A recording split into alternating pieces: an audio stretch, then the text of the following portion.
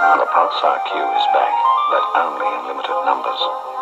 Every fully imported Pulsar Q comes with power steering, central locking, and distinctive Q styling.